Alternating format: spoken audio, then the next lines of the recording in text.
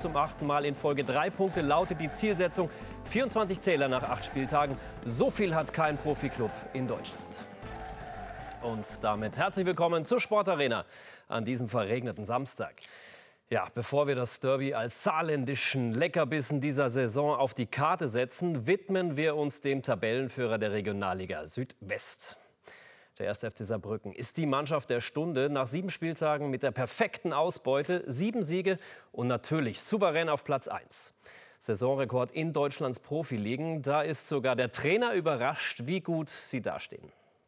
Habe ich mich noch gar nicht mit beschäftigt, weil das Erste ist, was ich jetzt höre. Ähm ich glaube, das sind alles schöne, schöne Nebenerscheinungen, klar, die man auch, auch gerne mitnimmt. Aber am Ende des Tages geht es natürlich für uns auch immer wieder darum, jetzt sich nicht nur auf die Schulter zu klopfen, sondern sich immer wieder auf das Neue und auf das Wesentliche zu konzentrieren. Ja, und das heißt heute gegen Hoffenheim achter Dreier am Stück. Und bei 8 mal 3, also 24, landen wir unweigerlich bei diesem Spieler, Sebastian Jakob, der Mann mit der eingebauten Torgarantie trägt natürlich die Nummer 24 und hat schon acht Tore erzielt. Ja, wenn das mal kein Zufall ist, Frank Rundhefer. Nee, in der Tat, das kann kein Zufall mehr sein. Sebastian Jakob ist im Sturm derzeit das Nonplusultra. Acht Treffer, darunter schon drei Doppelpacks, auch vergangene Woche in Mainz. Also viel besser geht im Grunde nicht. Heute sein Sturmpartner Markus Mendler, der ist nach Oberschenkelverletzung wieder fit, ersetzt den leicht angeschlagenen Gillian Jurcher, der so eine Pause bekommt. Der Klottner muss also wieder ein bisschen umbauen, bringt außerdem auf der 10 Tim Golley für Kians Frühs.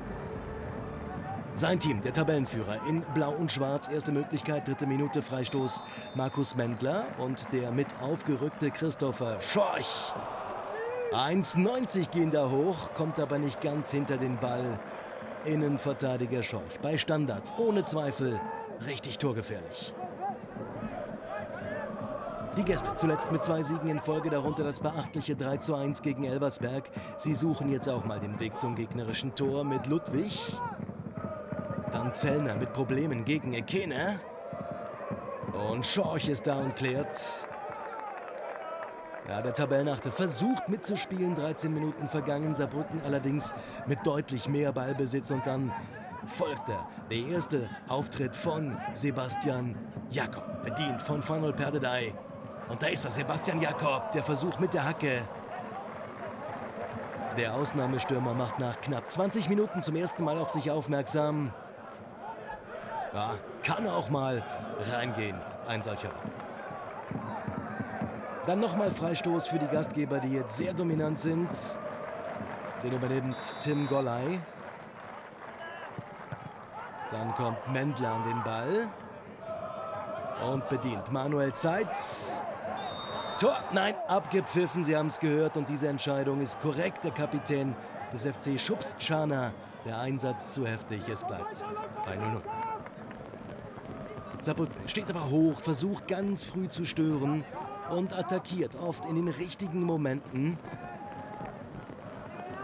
Das Beispiel hier, Jennecke. Durch die Beine von Fenel.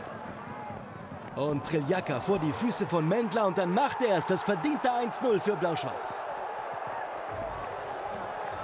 28. Minute, sie belohnen sich für viel Einsatz. Hoffenheim zu einer Reihe von Fehlern gezwungen. Und Markus Mendler hat freie Bahn. Der FC vorn.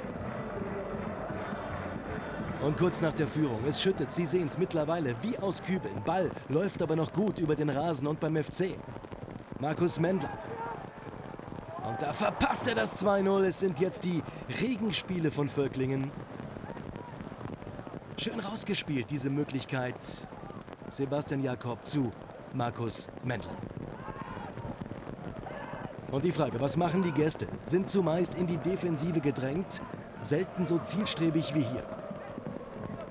Dazu der Fauxpas von Zellner. Jan Ferdinand hat Platz. Schorch kann noch verkürzen, trotzdem muss Batz eingreifen. Und das sind Szenen, die Dirk Lottner überhaupt nicht gefallen. Auf der anderen Seite kann es aber auch seine Mannschaft sehr geradlinig. Mit Barilla. Dann Goller. Jakob. Perdedei. One-Touch-Fußball. Und Farnold Perdedei. 39. Minute. Er jetzt auf dem Weg zum 2-0. Wieder nicht. Drilljaka und Czana retten. Ja, wunderbarer Spielzug, den Fanol Perdedei nicht veredeln kann. Allerdings auch sehr gut der Reflex von Triljaka im Hoffenheimer Tor. Und Markus Mendler, der beschwert sich auch noch, warum er nicht angespielt hat. Zur Halbzeit führt Saarbrücken absolut verdient mit 1-0 im Regenpark Hermann Neuberger Stadion gemütliches Anlass. Und dann haben wir Ihnen mal eine Szene rausgesucht, die dokumentiert, wie Fußballspielen nach dem Seitenwechsel aussieht. Das ist mehr Zufall als alles andere. Der Ball rollt nicht mehr richtig. Die Spieler versuchen da immer wieder, ja, den Ball nicht durchs Wasser zu spielen. Die Zuschauer sind auch nicht wirklich zu beneiden. Aber nochmal Ecke für Saarbrücken. Markus Mendler. Und hören Sie, es donnert mittlerweile. Dazu Blitze. Und dann Manuel Zeitz, 48. Minute. So, aber schauen Sie sich jetzt diese Bilder an. Manche versuchen sich im Toilettenhäuschen vor dem Regen zu schützen und dann hat auch Schiedsrichter Erbs ein Einsehen, unterbricht das Spiel drei Minuten nach Wiederanpfiff. Die Teams verschwinden in den Kabinen und die Bilder sprechen jetzt für sich. Und dann die Durchsage, man warte eine halbe Stunde ab, um den Platz erneut anzuschauen. Und das geschieht dann auch, der Unparteiische mit dem Balltest. Und er entscheidet, das sind keine regulären Bedingungen. Er lässt schließlich den endgültigen Abbruch der Partie verkünden. Der Grund des Abpfiffs oder der Unterbrechung war eigentlich der Donner oder der Blitz gewesen. Äh, und in der Zwischenzeit äh, hat er sich überlegt gehabt, ob er nochmal anpfeift, da der Ball nicht mehr richtig rollt. Hat es dann nochmal getestet nach, äh, nach ca. 20, 25 Minuten und war der Ansicht nach gewesen, dass, dass der Ball nicht mehr, nicht mehr richtig rollt, sodass hier nicht mehr richtig gespielt werden kann. Ist der FC Saarbrücken damit glücklich oder hätte er lieber weitergespielt? Nein, wir hätten natürlich selbstverständlich gerne weitergespielt. Äh, es geht noch 40 Minuten oder 44 Minuten, ich weiß es nicht genau. Wir führen 1-0 und äh, hätten natürlich unter allen Umständen gerne weitergespielt. Äh, allerdings konnten wir auf den Schiedsrichter so nicht einwirken, dass er das gemacht hat. Er war voller Überzeugung, dass das die richtige Entscheidung ist, abzubrechen. Jetzt die Zuschauer haben 30 Minuten ausgeharrt, bis die Entscheidung gefallen ist. Was bedeutet das jetzt für die beim nächsten Spiel, beim Wiederholungsspiel? Ja, das weiß ich jetzt nicht, aber ich denke schon, dass die Karten weiterhin ihre Gültigkeit haben, wenn sie das meinen.